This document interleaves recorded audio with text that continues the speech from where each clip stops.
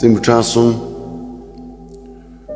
чотиривласник Ірод, якому докоряв Іван Хреститель, за жінку Іродіаду?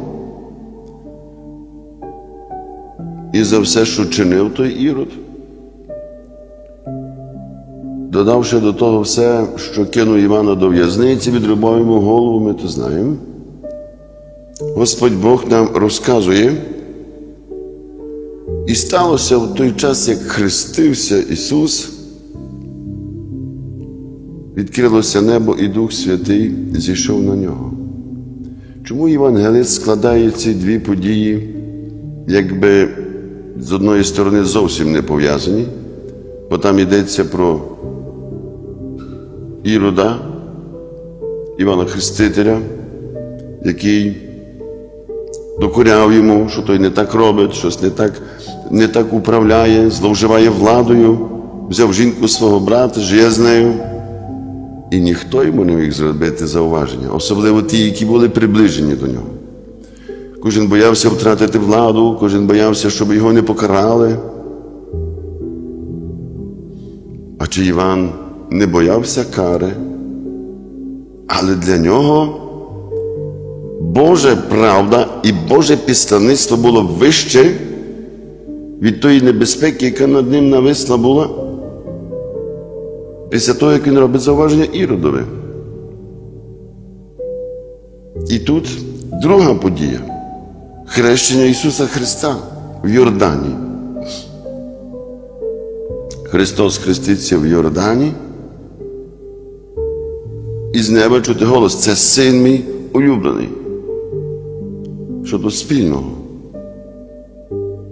Там Івана чекала смерть, Ісуса чекала смерть на Голгофті. Більше там спільного нема нічого. Господь Бог ставить нам перед очі і каже, що тобі ближче? Що ти більше розумієш? Зауваження, які робить праведник грішникові, не зважаючи ні на що. Той простий проповідник, а той правитель держави. Чи ти хочеш бути свідком Господа Бога, який об'явився світові, і голос Отця було чути з неба, це син мій улюблений, в ньому моє уподобання. Я собі його уподобав. Чуєте? Бог його уподобав. І Він нам це підкреслює. Тому я часто так люблю згадувати у своїх науках. Я завжди кажу, щоб ми були приємні в Божих очах. Хоча би приємні в Божих очах.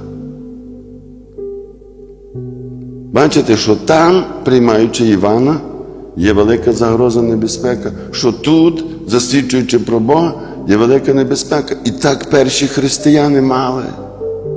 Їх вбивали, їх нищили, розпинали, пилили їх пилами, катували, спалювали на вогні, кидали диким звірам.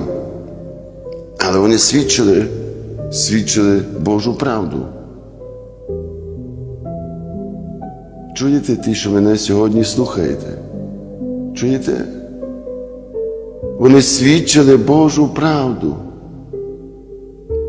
А ми часом брешемо уже самим собі.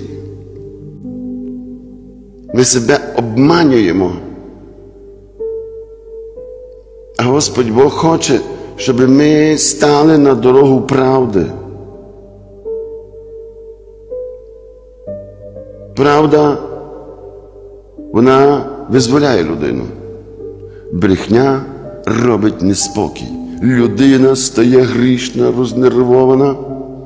І як апостол Павло в сьогоднішньому Євангелії каже, нехай сонце не заходить над вашим гнівом. Небезпека нашого життя це є те, що ми гніваємося, це наш гнів. А на що людина в основному гнівається? На неправду, на несправедливість. Вона хоче, щоб все було по правді. А сама не завжди поступає по правді. І кого Бог має слухати? Праведників. А праведники також поступають не по правді. Може, не в таких великих масштабах, може навіть дуже маленьких, але Бог є справедливий. Він сказав до, до всього люду, що був на Йордані, ось син мій улюблений, в ньому моє уподобання, бо злий не знайшов в ньому ніякої плями гріха, бо це була присутність правди на землі, це була істина в особі Ісуса Христа, істина самого буття, істина самого Бога. В ньому моє уподобання. Ідіть до нього. Бо Він прийшов вас спасти. Дорога до Бога це дорога до правди. Не, не є велика правда в тому, щоб когось засудити, чи ми чули хоч десь хтось когось, Ісус Христос когось засудив. Ні. Він прийшов і завжди показує приклад прощення. Тому почнімо прощати в першу чергу самих себе. Хватить себе картати за свої помилки. То було давно, вже все забули, а ти тримаєш і мучиш себе, мучиш себе. А диявол тоді каже: о, дуже добре, я не маю що робити, він сам себе мучить. Будьте правдиві з собою. Видите, ми слабкі, так, але Бог мені дав можливість навернення, дав мені можливість покаяння. І тому ці дві події, Іван Хреститель, Ірод і Ісус Христос у Йордані хрещення, це є нам послання. Будьте правдиві, як Іван, він по правді сказав. Ніхто не міг Іродове зробити зауваження, а він казав. Ісус Христос прийшов і каже, я є істина. А Пилат питається, а що таке істина?